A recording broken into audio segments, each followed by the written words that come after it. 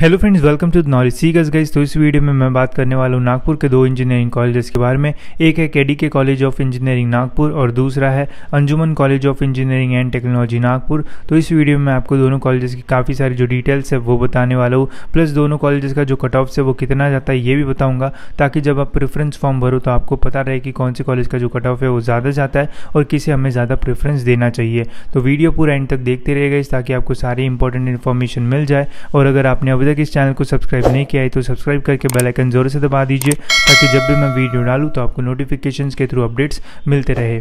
तो जो के डी के कॉलेज ऑफ़ इंजीनियरिंग नागपुर है इसका जो कॉलेज कोड है, वो है four thousand one hundred forty seven ये कॉलेज नागपुर में ही है मेन सिटी में आपको देखने को मिल जाएगा।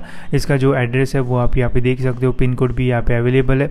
इस कॉलेज का जो इस्टेब्लिशमेंट डेट है, वो है 1984 तो काफ़ी पुराना कॉलेज है।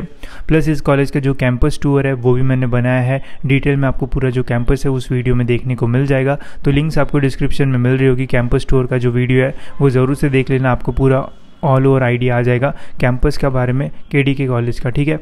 प्लस अगर बात करें नियर बाय रेलवे स्टेशन और बस स्टैंड की तो नियर बाय जो रेलवे स्टेशन है, वो भी काफ़ी पाँच से चार किलोमीटर ही है। और बस स्टैंड भी आपको काफ़ी पास मिल जाएगा, जो नियर बाय एयरपोर्ट है, वो थर्टीन किलोमीटर है। इस कॉलेज में आपको जो बॉयज़ हॉस्टल गर्ल्स हॉस्टल की जो फैसिलिटी है, वो मिल जाएगी। तो हॉस्टल फैसिलिटी यहाँ पे अवेलेबल है। फ़ी स्ट्रक्चर आपको जानना होगा हॉस्टल या फिर कॉलेज का तो आपको कॉलेज में कॉन्टैक्ट करना पड़ेगा। आपको डिटेल जो फ़ी स्ट्रक्चर है, वो मिल जाएगा वहाँ पर अगर बात करें इस कॉलेज के स्टेटस के बारे में तो जो कॉलेज है, ये एक प्राइवेट कॉलेज है, प्लस नॉन ऑटोनॉमस कॉलेज है, प्राइवेट नॉन ऑटोनॉमस है और माइनॉरिटी में नहीं आता है, ठीक है? तो आपको यहाँ पे कैटेगरी वाइज जो कट ऑफ्स है, वो देखने को मिल जाएँगे।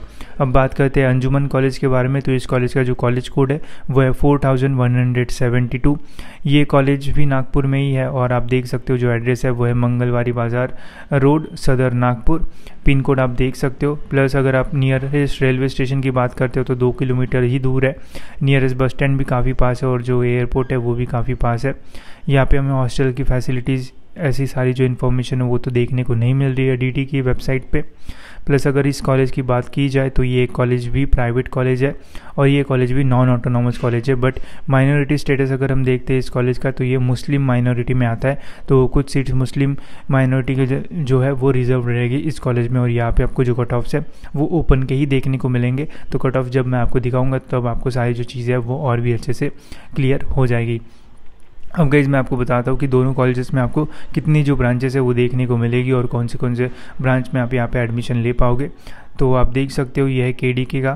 तो के डी के में है civil computer science and engineering IT electrical electronics and telecommunication mechanical A I and data science ठीक है? तो जो A I and data science है, ये 2021 में ही आई है मतलब इस साल से शुरू होने वाली है। तो इसका जो कट ऑफ़ है, वो हमें देखने को नहीं मिलेगा। और जो इलेक्ट्रॉनिक्स एंड टेलीकम्युनिकेशन है, ये भी काफ़ी न्यू ब्रांच है 2020 में ही शुरू हुई है। और फिर जो कंप्यूटर साइंस एंड इंजीनियरिंग है, ये भी काफ़ी न्यू ब्रांच है। 2019 में ही इस कॉलेज में शुरू हुई है, ठीक है? और इनका जो इंटेक है, वो आप देख सकते हो ओवरऑल कॉलेज का जो इंटेक है, वो है 570 स्टूडेंट्स का कट ऑफ़ भी हम देखेंगे दोनों कॉलेजेस के। और अगर अंजुमन कॉलेज की बात की जाए तो यहाँ पर भी हमें ब्रांचेस में civil computer science and engineering AI and data science electrical engineering electronics and telecommunication mechanical engineering almost same same branches हमें यहाँ पे देखने को मिल जाती है। एक ब्रांच शायद यहाँ पे ज़्यादा है। यहाँ पे हमें देखने को दो, तीन, चार, पाँच छः सात ब्रांचेस है के डी के में और यहाँ पे छः ब्रांचेस है। ठीक है तो ज़्यादा डिफरेंस नहीं है।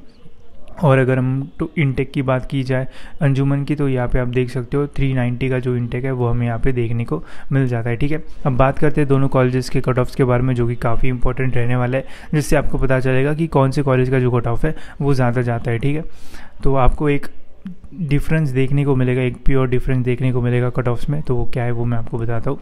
तो आप देख सकते हो के डी के का सिविल इंजीनियरिंग का कट ऑफ़ अनएडेड और है और माइनॉरिटी में नहीं आता है इसलिए आपको सारे जो कैटेगरी वाइज कट ऑफ़ से वो देखने को मिल जाएँगे। जनरल ओपन का आप देख सकते हो सिविल का thirty four point seven five जो कि कम है ठीक है एससी का भी काफ़ी कम है एसटी का आप देख सकते हो 14.26 जनरल ओबीसी का भी देख सकते हो, काफ़ी कम है।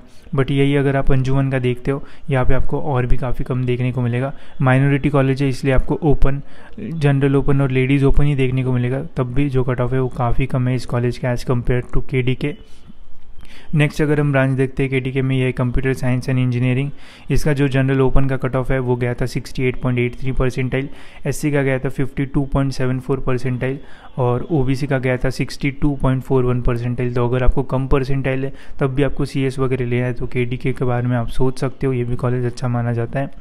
फिर नेक्स्ट अगर हम देखते हैं अंजुमन का कंप्यूटर साइंस एंड इंजीनियरिंग तो इसका जनरल ओपन का गया था? 49.73 जो कि कम एज़ कंपेयर टू के के और लेडीज़ ओपन का आप देख सकते हो 59.48 परसेंटाइल गया था, ठीक है? इस साल सीएस का मे भी थोड़ा बढ़ जाए, ऐसा हो सकता है, क्योंकि कॉम्पिटिशन इस बार भी काफ़ी ज़्यादा है सीएस पे।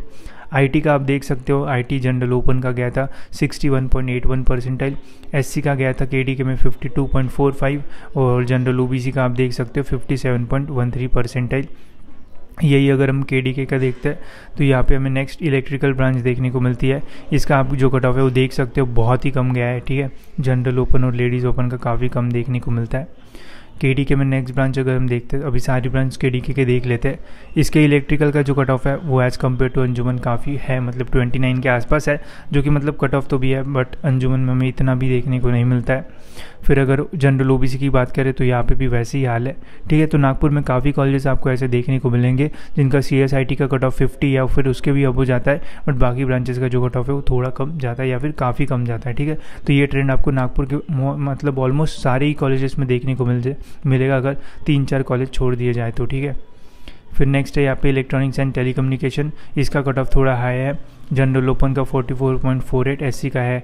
सिक्स पॉइंट जो कि काफ़ी कम है और लेडीज़ लेडीज़ ओपन का देख सकते हो 46.78 और जनरल ओबीसी का देख सकते हो 28.44 और फिर यहाँ पे मैकेनिकल भी है तो मैकेनिकल का भी ठीक ठाक है एज़ कंपेयर टू और भी काफ़ी कॉलेजेस है, जिनका इससे भी कम जाता है तो यहाँ पे जनरल ओपन का thirty three point three three है एस का तो बहुत ही कम है ज़ीरो के आसपास, और जनरल ओ का आप देख सकते हो, ठीक है? तो और जो एआई है, वो तो अभी से शुरू हुई है तो वो ब्रांच हमें उसका कट ऑफ़ देखने को नहीं मिलेगा, बाकी अंजुमन के जो बचे हुए ब्रांचेस हैं, उनका देख लेते हैं। यहाँ पे ई e का जो कट ऑफ़ है, वो भी काफ़ी कम है इलेवन के आसपास है तो ईजिली कॉलेज मिल सकता है ये भी। और फिर नेक्स्ट ब्रांच देखें तो यहाँ पे मैकेनिकल मैकेनिकल का भी आप देख सकते हो, इस कॉलेज का काफ़ी कम जो कट ऑफ़ है, देखने को मिलता है। लेडीज़ ओपन का थोड़ा हाई था। इस बार भी हमें ऐसे ही देखने को मिलेगा क्योंकि सी एस आई टी पर बहुत ज़्यादा फोकस हो रहा है। इसलिए मैक्सिमम कॉलेज का जो सी एस आई टी का कट ऑफ़ है वो ज़्यादा जाता है और बाकी ब्रांचेस का जो कट ऑफ़ है वो काफ़ी कम जा रहा है क्योंकि maximum student C S I T को बहुत ज़्यादा जो प्रीफरेंस है वो दे रहे हैं। बट ऐसा बिल्कुल नहीं है कि सी एस आई टी ही मिलेगा, तभी जाके आपको आगे जाके प्लेसमेंट मिलेगा। आपको कोई भी ब्रांच मिलती है, अगर आप सही से पढ़ाई करते हो तो आपको प्लेसमेंट ज़रूर से मिल जाते हैं। वो डिपेंड करते हैं आपके स्किल्स पर ठीक है? तो ये थे दोनों कॉलेज के ओवरऑल कट ऑफ़ अगर आप देखोगे कंसिडर कंपेयर करके देखोगे पूरे दोनों कॉलेजेस को तो जो के के कॉलेज का जो कट ऑफ़ है, वो as compare to Anjuman high जाता है और आपको जो डिफरेंस है वो देखने को मिल जाएगा। सी एस आई टी में भी काफ़ी डिफरेंस है, ठीक है? इसका सिक्सटी एट ऐसा समथिंग जाता है और उसका काफ़ी कम जाता है। तो आपको समझ गया होगा कि किसे हमें ज़्यादा प्रेफरेंस देना पड़ेगा। जिसका कट ऑफ़ हाई रहता है, उसे हमें ऊपर डालना पड़ता है, ठीक है? हमें मतलब जब मैं प्रेफरेंस फॉर्म हम भरेंगे ना तो उसका जो वीडियो है मैं डाल दूँगा।